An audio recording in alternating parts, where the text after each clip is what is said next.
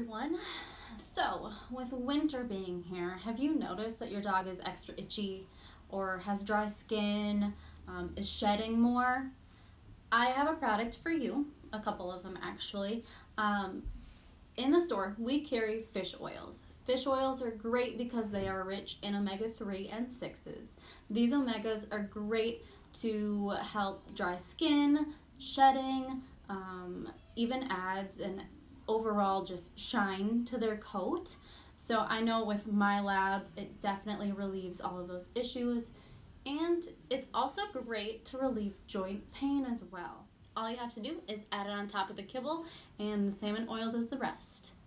Thank you for watching and supporting Pet Expo, a pet's first choice.